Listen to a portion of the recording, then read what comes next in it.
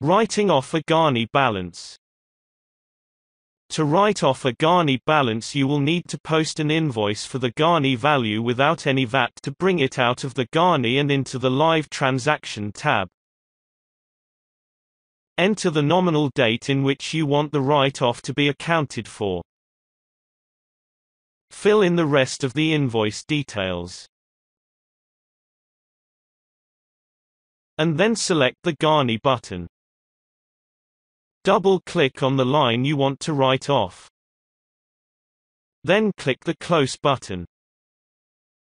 Click on Post and then Finish in the bottom right-hand corner.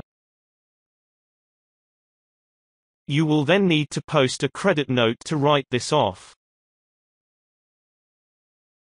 To do this post a negative invoice if you use the same invoice number a pop-up box will appear just click on the Post Again button.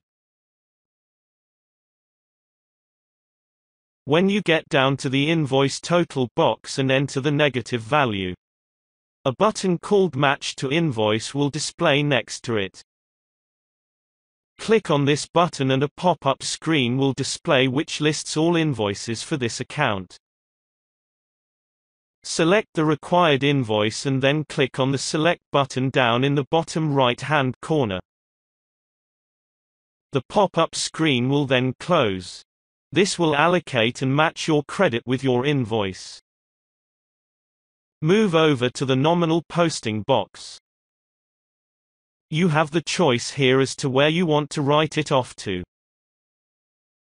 Enter the nominal code and add a reference, then click Add.